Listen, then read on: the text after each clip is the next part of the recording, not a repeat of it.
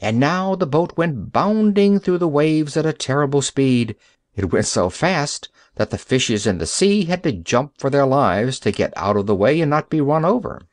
And all the animals got tremendously excited, and they gave up looking at Jip and turned to watch the sea in front, to spy out any land or islands where the starving man might be. But hour after hour went by, and still the ship went rushing on, over the same flat, flat sea, and no land anywhere came in sight.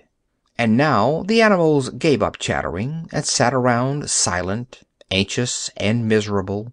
The little boy again grew sad, and on Jip's face there was a worried look. At last, late in the afternoon, just as the sun was going down, the owl Too-Too, who was perched on the tip of the mast, suddenly startled them all by crying out at the top of his voice, "Jip! Jip!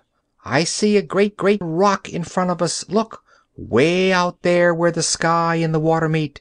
See the sunshine on it, like gold. Is the smell coming from there?" And Jip called back, "Yes, that's it. That is where the man is. At last! At last!"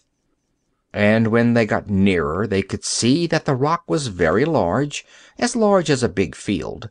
No trees grew on it, no grass, nothing. The great rock was as smooth and as bare as the back of a tortoise. Then the doctor sailed the ship right round the rock, but nowhere on it could a man be seen. All the animals screwed up their eyes and looked as hard as they could, and John Dolittle got a telescope from downstairs. But not one living thing could they spy, not even a gull, nor a starfish, nor a shred of seaweed.